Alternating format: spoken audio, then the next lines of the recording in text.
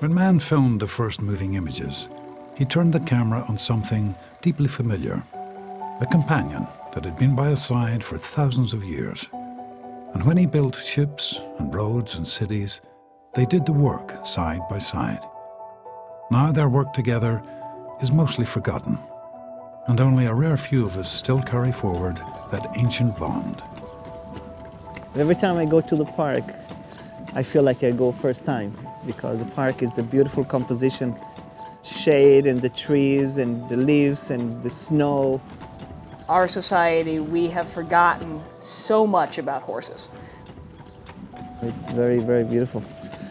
We used to all know about horses, and the animal rights people have been able to exploit that.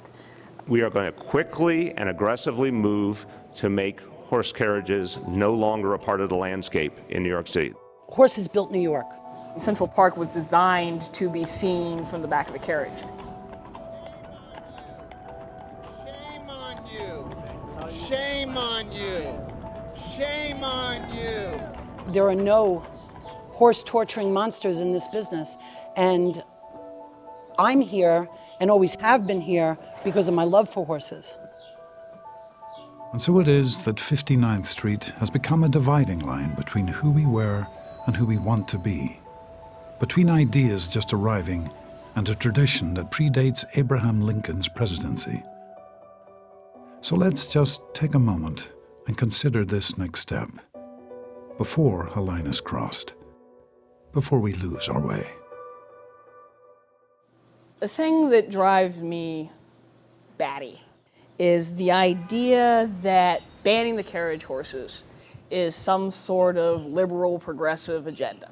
The reality is that the real progress that's being made here is to honor our traditions, to honor our traditions from Italy and Ireland and other horse cultures. I'm from Mexico City. My grandma used to have a farm back in Mexico, outside Mexico City. I used to work with my grandma with the horses. South America, was born and raised in Brazil, uh, which is on the south, close to Argentina and Uruguay. That's the part of the country have the gauchos.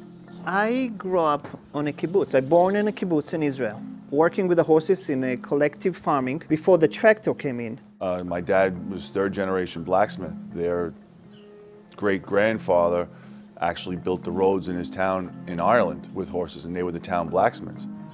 It's not just a little job, it's, it's a tradition. My horse name is Rebecca. I fall in love with her in day one. The first day that I drove her in Pennsylvania, I knew that this is my baby. We are the living link to the history of the horse in New York City. And in places that are progressive, the horses are coming back. In Europe, they're using them for recycling, to water municipal gardens. The horses are coming back at a time when the mayor of New York sounds so terribly retrograde. We are going to get rid of the horse carriages, period. They're not humane. It's over. It hurts. It hurts and it's infuriating. Uh, depending on who's saying it and what kind of mood you're in, you could cry or you could scream. Why should I mistreat my horse? What would be the reason to do that? You know, it gives me so much back in terms of uh, happiness. All the cookies. It is a very, very difficult thing for our children to field, reading the newspapers, hearing stories on television about their parents being horse abusers. By now, most people have heard that the New York City carriage horses are overseen by five agencies and 144 pages of regulation. That they can't work if it's too hot or too cold. That they get a five week vacation and mandatory health care. So the question becomes can a horse take the same risks that joggers and cyclists take in a city? And if we decide that they cannot, what becomes of cultures where this is not a stroll in the park, but a deeply held religious freedom? Do I ever think that it's going to be an issue as to whether you can use a horse to pull a carriage in Lancaster? Uh, I think that'll happen right after hell freezes over.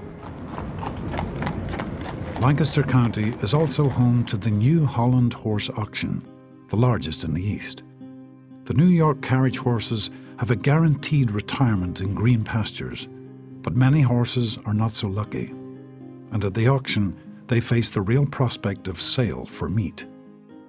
Over 100,000 horses a year in North America are slaughtered. In a good year, the Mount Hope Horse Rescue is able to save about a dozen. How long does it take to place a horse?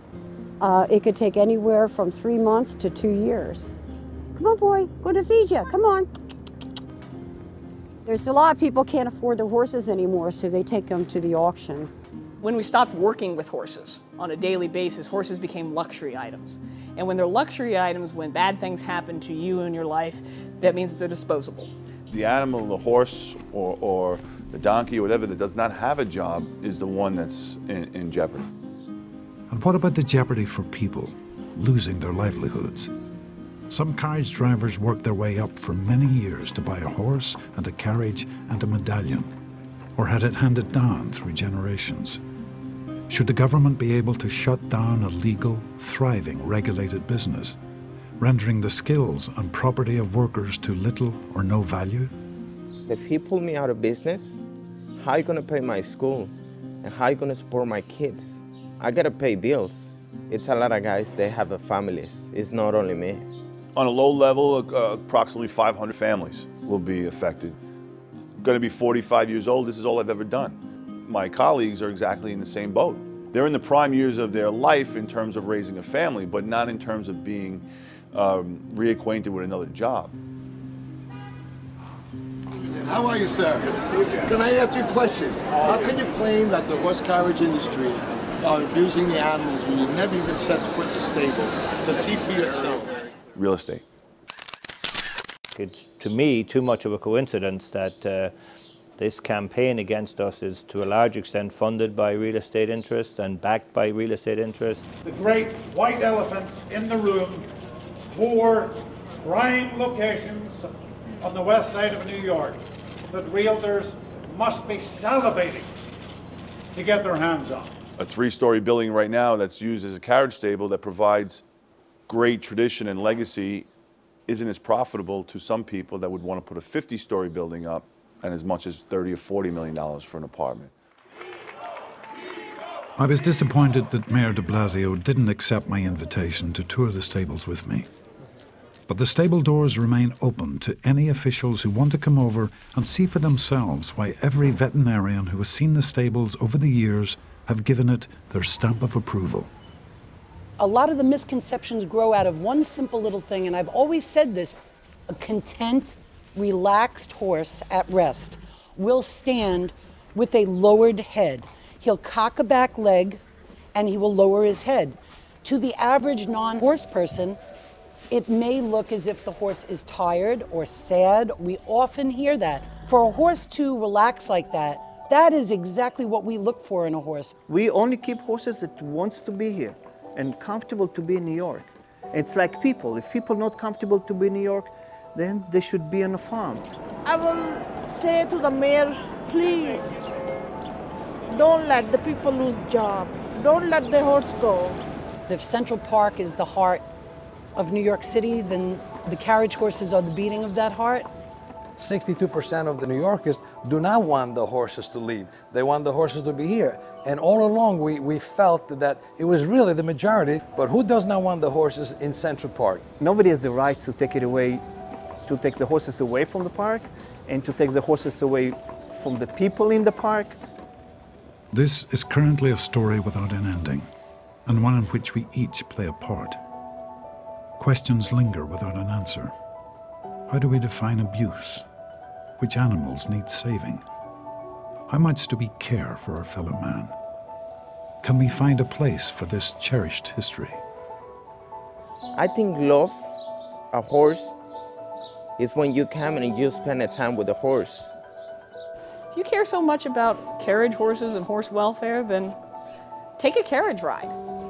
There's no better place to contemplate these questions than Central Park. Just you, the park, a horse, the sky. Eventually, everybody comes for a carriage ride.